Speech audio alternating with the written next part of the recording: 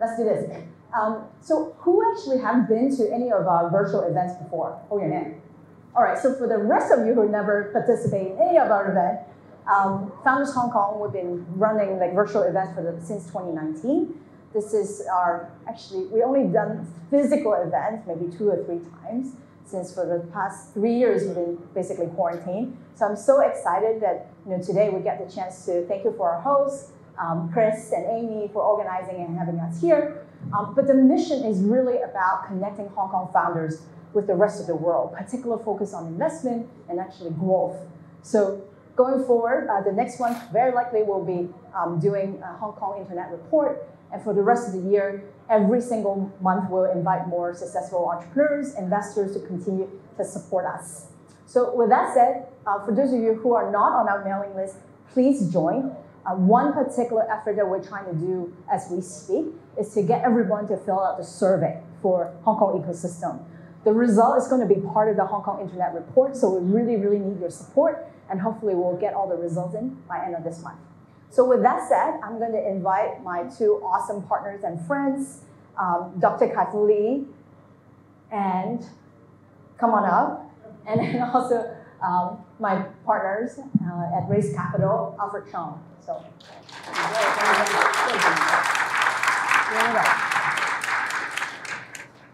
so the Fed increased interest rate five times. Uh, Elizabeth Holmes now in jail.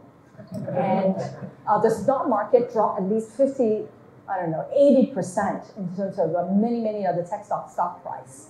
So, you, so my first question is going to be around what do you guys any prediction for 2023? Is it going to be better, worse? Any prediction just for venture and tech in general? Um, maybe we'll start with Alfred and then Kai-Fu. Well, welcome everybody. So good to see you all. Um, every day is a good day to be in Hong Kong. I'm so glad to be back and um, to be on stage with uh, Kai-Fu Lee That's um, actually it's my first time to be on stage with uh, Kai-Fu. It's, it's uh, wonderful to be here. Um, I think one of the things we should expect, th- th- there's a reason why interest rates went up five times. I think four of those times were 75 basis points, which is extremely aggressive. And um, is to try to cool asset prices and also look at uh, employment rate. So if you look in the US economy, it, it's working okay, but not great. So I, I, you know, I don't know what will, you guys can hear? So what I was just saying is, um, despite the five different interest rate hikes, asset price has come a little bit, but the employment rate in the U.S. is still really strong. So I would not be surprised that more interest rate hike may be coming, and that obviously will affect the equity market. Alongside with that would be late stage valuation, which has come down a lot, but still expensive comparing to the uh, public companies. So in order for, I think, this tide to shift, likely what we will see in 23 is at least in the first half is going to be, I'm going to guess it's going to be pretty tough. And we start to see uh, prices of deals coming down from late all the way down to early. And actually, Edith and I actually saw a company yesterday. For the first time, we've seen um, seed stage company drop below $10 million post money valuation. So that was pretty shocking. So I think um, this is nothing that we haven't seen before. I will compare this to kind of the year 2000, which is very similar, because in the year 2000, we saw a large equity bubble in tech bursted, and we saw consolidation. And in 2001, we saw September 11 happen, which is kind of similar to what you know we've seen in the macro environment with the Ukraine war and all that. So um, then we saw a huge amount of innovation from that point on, all the way through consolidations and different things, and see, and we saw the maturation of the internet. So we should probably see something very similar of this kind of things to happen as well. From that perspective, I'm actually quite optimistic of tech going forward in 23. Okay, so first let me comment on US. Uh, I know much less about my two colleagues here, but our, my view is three very unusual things happened in the last couple of years. One is the issuance of a huge amount of money. and that resulted in trillions of dollars, much more than is needed or appropriate due to a whole set of reasons. And that money has led to overvaluation because when people who don't need the subsidy get the subsidy, what are they going to do? Buy stocks, right? Or the larger um, beneficiaries, they'll invest in VCs and PEs. As a result, the, uh, the total amount of money raised in Silicon Valley was dramatically higher uh, during the COVID years. And, and that has further led to uh, overvalued uh, bubble valuations, uh, which has to uh, eventually be corrected. When I visited Silicon Valley recently, I saw many companies sitting on a lot of cash because they raised money when the stock, when the price was really high, and now they, their value is just not there. And VCs that have uh, very good on paper IRR are faced with the problem of how to deal with companies in their portfolio that are much, much too high. Uh, the second reason I think is a perception, a perception that technology does not deliver the growth that people thought it would uh, post COVID. That is, in the beginning of COVID, companies like Zoom, DocuSign, and others have really shown amazing growth. And it's believed that Peloton and other companies will, will, will continue that uh, throughout COVID and even beyond COVID. And as COVID sort of ended in the US and uh, in the US, uh, that growth came down dramatically. And then now it looks like uh, really the, the hyper growth is, com- is coming down to the old reality. So therefore, the valuations need to come down. So this happens know, first on stock and then trickles back, as Alfred says. And the third phenomenon is that uh, the I think in, the investment community in, uh, community in general uh, always lets the pendulum swing too far. So when things look good, the price get way overvalued. When things, things don't look good, they get way undervalued. And we're currently on that swing, perhaps um, towards, but not quite at the bottom yet. That's my view on the U.S. May not be completely accurate. Uh, take it with a grain of salt. My view on China is that China began uh, the descent of its um, tech valuation well before the U.S. due to a different set of reasons. Some industries were facing trouble, antitrust issues, and um, uh, uncertainties later due to uh, different policies uh, regarding uh, all kinds of things. So those those kind of created a lot of fear, uncertainty, and doubt in the investors' eyes. So China stock and China growth, PE, and then trickling down to early stage really happened some nine months before the US. So in some sense, China is a little bit of a leading indicator for the US at a, at a macro sense, because now we're seeing China, uh, we're still seeing PE and growth in a lot of challenges uh, because I think um, a lot of money went in when the price was too high, and also the exits become is very difficult, and also uh, we say 倒挂 in Chinese, which your price is high in the PE but lower. The equivalent company that's public is lower. Well, who's going to invest in PE then? So I think that difficulty will probably continue because as long as this uh, mismatch exists between primary and secondary market. Uh, however, in China, we have for some time uh, in our latest fund, we have been seeing the valuation come way down in seed, um, angel, pre-A stages already, and that's continuing.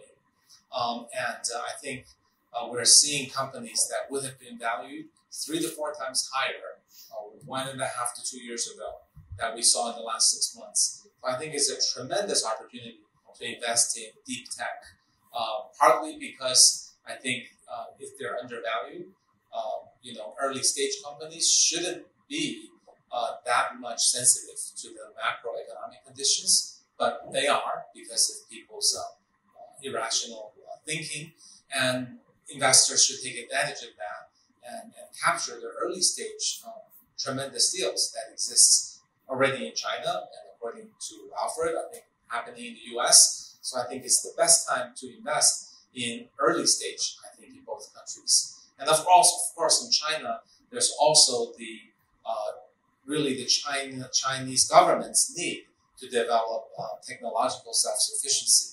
So that's another potential factor that would make early stage uh, tech companies uh, attractive.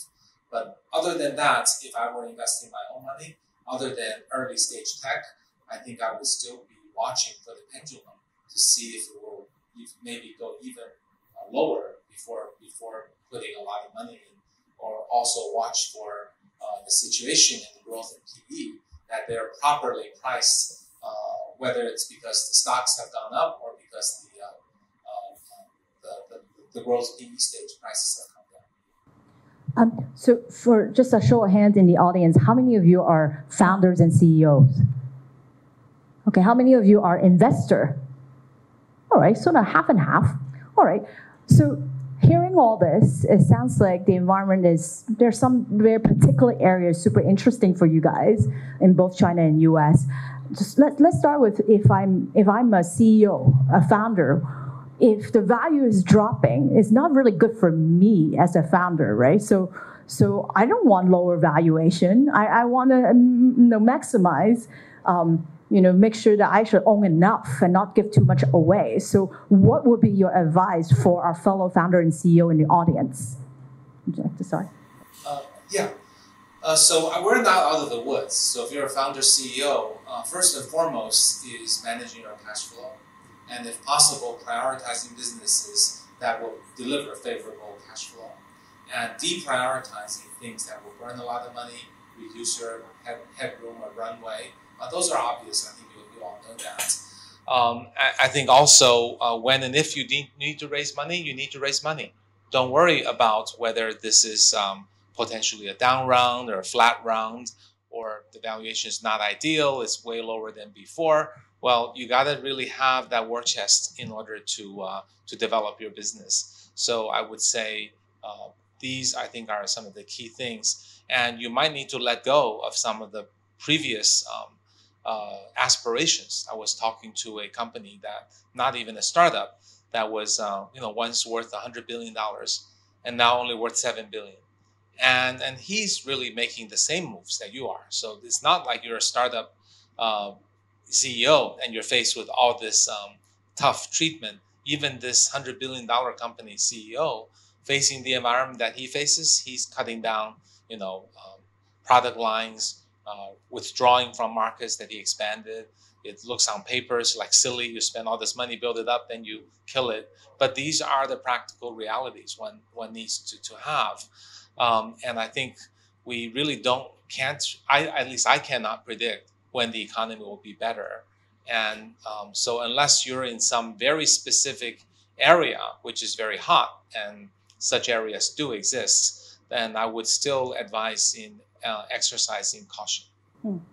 Alfred you're an early investor in Slack and Databricks, and I don't want you to comment on uh, any valuation per se, but what are you going to do if this is what's going on now, particularly from founder point of view?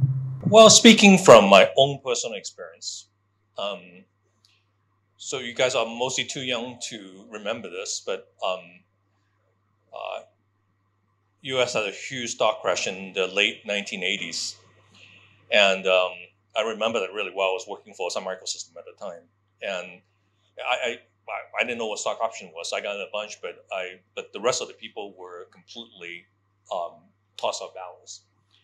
And then and then um, the um, and then I ended up starting a company in the late 1994 kind of time frame.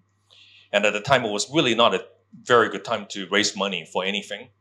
So I ended up, um, given the circumstances, I was originally from Hong Kong. At the time, there weren't any really a lot of Chinese founder starting a company in Silicon Valley. So I was given a term sheet to, um, for raising $50 million, which I thought would be all the money we will ever, ever need, which is actually kind of technically true because that's the only private money that we raise. And but to give up 50% of the company, which nobody would do these days. But I thought um, it was, um, given all the parameters, it was the right deal.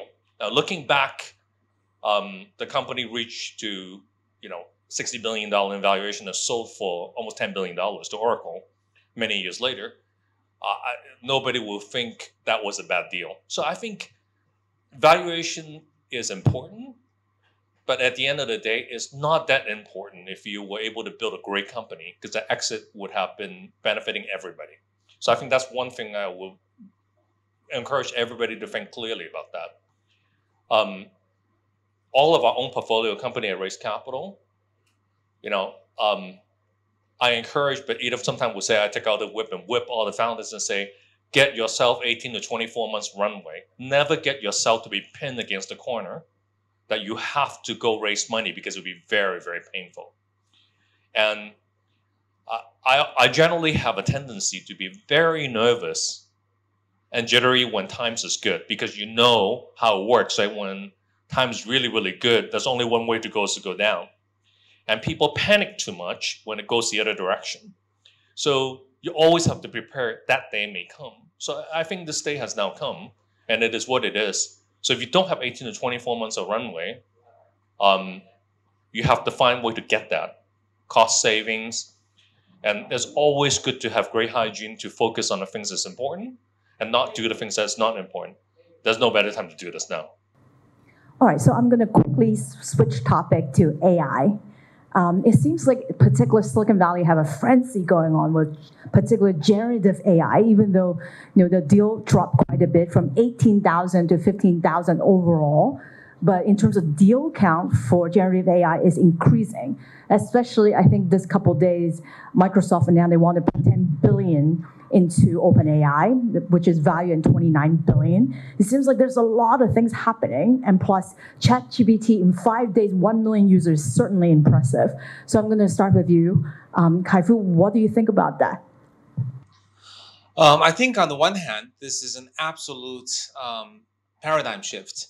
I think of the old AI that we're used to, that I wrote my books and made my first, you know, a few dozen investments on are an AI technology that's trained to do for a single domain large amount of data uh, to optimize an objective function based on a closed loop data solution.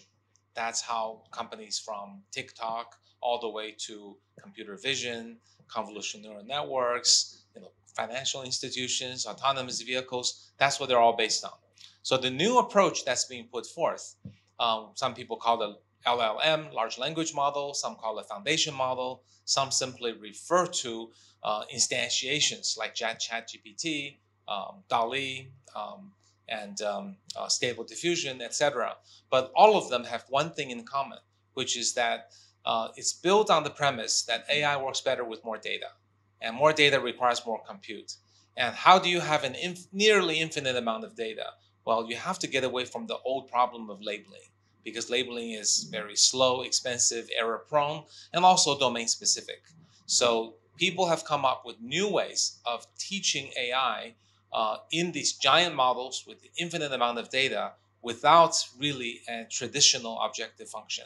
So you can think of it as AI evolving from uh, a little autonomous unit trying to learn to do one task really well, and that's all it does, all the way now to an infinite amount of data teaching it to have a brain, to have a memory, and to have a way to analyze and abstract information and able to do some degree of generalization and intelligent behavior. And you can still take that and fine tune it with transfer learning into specific domains with objective functions. So you can have your cake and eat it too.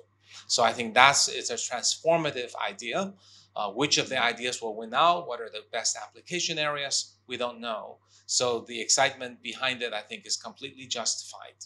Now, there are also a number of downsides to having such systems. First is that you need a machine of maybe $100 million or buy a lot of AWS time.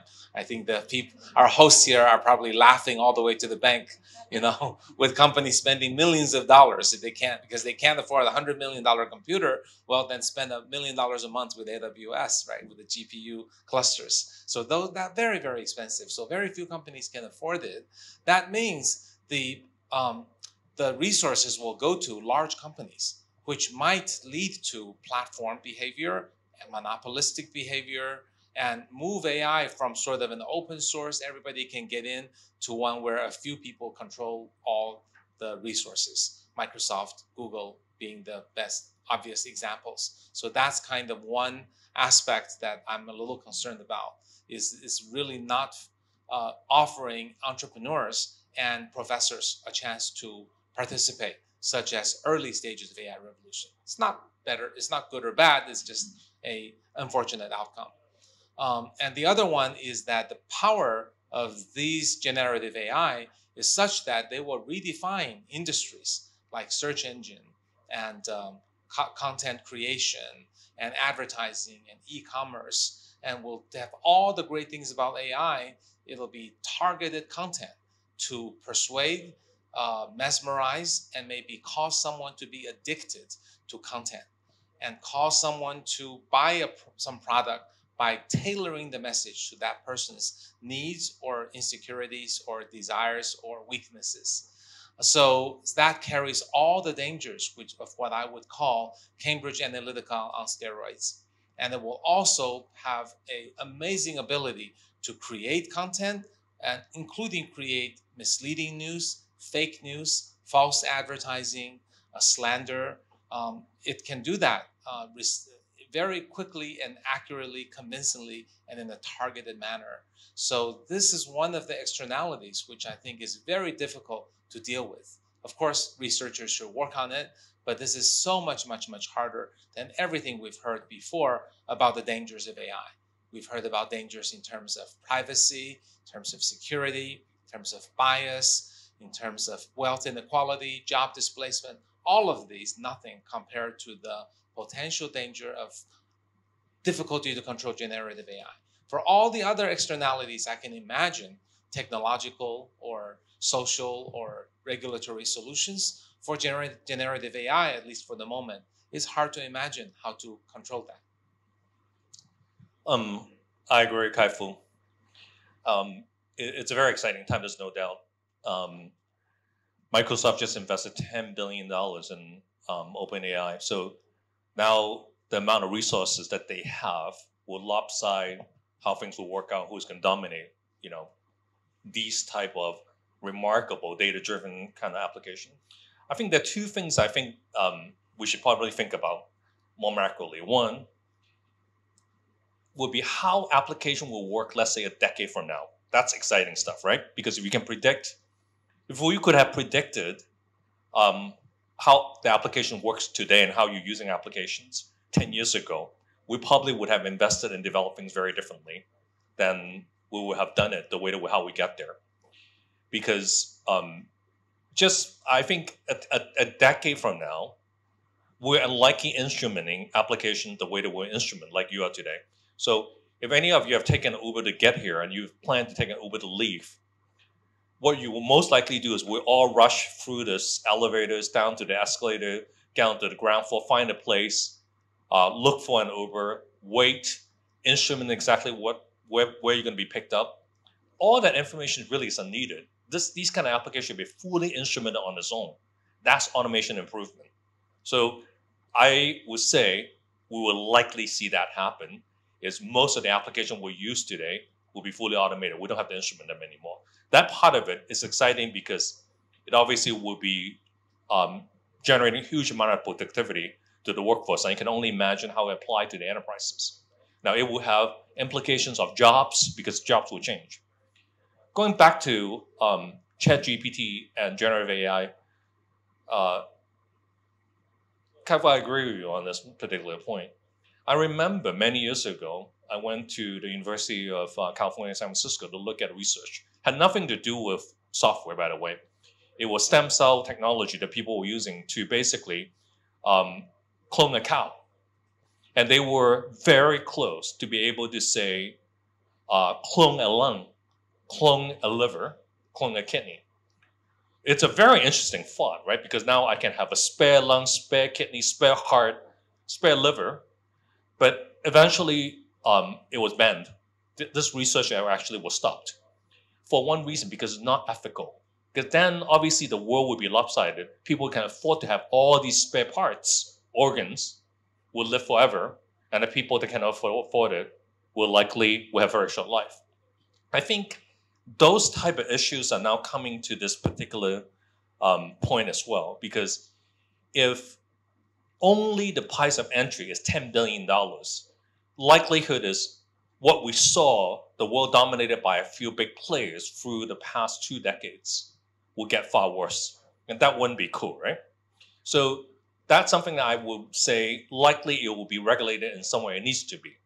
If code can generate code, and it can run on its own. It can be very dangerous. Now, the things I'm excited about would be using generative AI, for example, into gaming. Very, you know, that we really haven't seen dramatic changes for a long time. Imagine game can mutate on its own as you play along, and the character that you see can shape itself along the way. It will completely change the way that we think of gaming, entertainment, or a movie. Things that we kind of dream of that you can traverse a path in a movie and make your mind run for entertainment is very exciting. But I think for businesses, for labor forces, those kind of things, we got to be somewhat careful to be where we're embarking on. But without doubt, I always love to see great technology being disrupting what we've been thinking going forward. Um, so just for our entrepreneur in the room, so both of you are focusing on deep tech, tech, early stage, seed, like so what are like valuation look like and what's your average check size? Like what's your investment strategy? Um, uh, it's come down a little bit due to the environment because prices, valuations have come down. Um, and uh, we're able to get into companies with lower valuations. So the typical valuation nowadays would be uh, for our for our Series A fund, which is actually pre ANA, um, we would be about um, uh, valuation 20 to 40 million. And then we also have an angel seed fund, the valuation would be typically around 10 million. Wow. Check size is whatever, 10%. Def- de- definitely 2023 price and valuation. You definitely don't hear that in Silicon Valley a year or two years ago. Uh, Alfred, what are you seeing?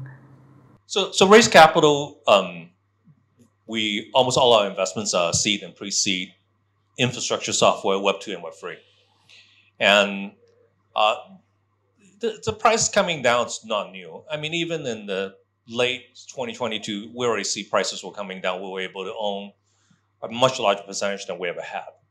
So that part was exciting because um, the amount of effort to help a company get it off the ground, and I think some of our founders may be in this room, that we spent huge amount of time to do a lot of work to help our founder to get things off the ground. And it's really hard to get the initial lift off. So ownership Valua- is crucial. Yeah. Valuation, evaluation. What are you seeing? Yeah, valuations now. Um, I would say in 23, likely we're going to see for the first time. You know, for seed, pre-seed would be 10, 10ish million. Seed would be 10ish million. Would be it's a lot cheaper than that. And, and, and both of you guys are writing checks. And what's the range of check size usually, right? For us, it's uh, for the seed, it's uh, one to three million Okay. Hmm? For for the Series A, it's maybe four to ten million. Got it. Yeah, our check size is typically two to three million. Okay, all right. So we talk about valuation, how much you invest. Let's talk about exit, and after that, I'm going to open up for Q and A, and we're going to end our conversation with sort of prediction for Hong Kong. Exit. So 2021 is everybody talk about SPAC, and looks like this whole SPAC bubble is pretty much over. So, what do you guys think in terms of the theme for exit for 2023? Is there any is there any light at the end of the tunnel for for IPO and whatnot? What what what do you think? Well, we never did any SPAC. We never uh, created any SPAC. We never uh, we never uh, well we had one exit that was through a SPAC and that, that's it. So we always thought that was prone to um, uh, problems. So I think that's okay. It doesn't affect us. Uh, I, we are reliant on various IPOs to drive the most of the returns because all of our funds they're usually returned by less than 10% of the portfolio through IPOs. The rest there's M&A, there's different kinds of things, but they're very small on the grand scheme of things. So for the IPOs, we're fortunate. We still have potentially US IPO open.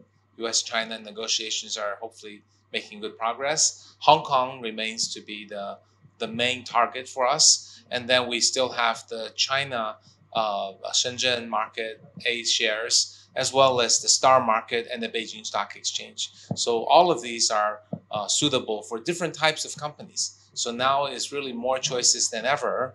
And also the currency used to be a problem. In China, you used to have to pick RMB path or US dollar path. Now there's more flexibility to change should the market conditions change. So theoretically, there are more choices. In practice, of course, some of the markets have not enough volume.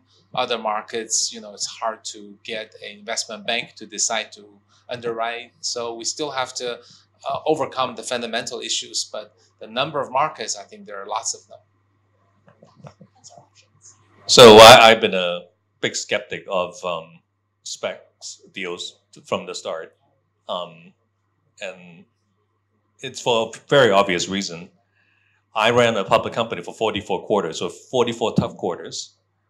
And when you're not ready to go public, you know, which is basically now everything is disclosed, every detail. Now, every 90 days you have to make earnings. You make, make predictions every 90 days and every year.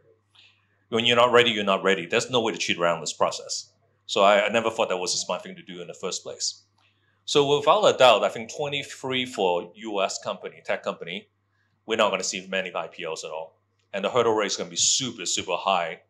And you better make your number for six, eight quarters out. So I think we're not going to see a whole lot of that given the economy is going to be jittery to try to predict that far. So with that in mind, I think exit will likely come from, um, which is cyclical, a bunch of M&A activities, we saw recently Coupa Software was um, sold for $8 billion, which is only 8.4 times for 12 months revenue. So it's very cheap. And it was a public company before it's taken private at that kind of prices. So this gives a lot of pressure to private company to be able to sell to public companies because they have to make the deal accretive almost instantly. So that means that more pressure to late stage deal if those are to be um, you know absorbed into public company through M&A but we're going to see a lot of activities. So I was telling the story about the year 2000, year 2001. So the company I ran, BEA Systems, actually took that opportunity because two events happened, which is um, basically kind of a war and then a bubble bursting. When that reset it, a lot of company went away. We took advantage and went from a very important piece of system software and expanded it into the platform. Like I almost spent my whole life trying to kill IBM. And that was our opportunity because that was it. I stomped on it literally during that time and took advantage and bought um, companies and let ourselves get into spaces that we would be very difficult organically to try to get into. What you would likely see in M&A would be the following. Because the most expensive thing to build in a public company, and which is most risky, is channel. Once your channel is set, anything that channel synergistic it's worth buying it if you can make it accretive very quickly. So I will watch for those kind of deals. And if you think you need to exit your company, that will be the way to exit it out is to be making the your company acquirable into those kind of scenario, which is accretive very quickly for the buyer and it's synergistic to the channel. All right. So to to summarize, uh, I guess 2023 will be a year of M&A, but if you do want to go IPO, mm, as you know, Dr. Kai-Fu was saying, there's many, many options, especially if you're Asian companies. You don't necessarily have to go to the US to go public. Um, and it sounds like 2023 will make 2022 kind of sleepy year if you are into AI. And even though valuation is pretty bad, as long as you have year and a half, two years of runway, you would survive. So that's sort of a summary of what we uh, talked about today.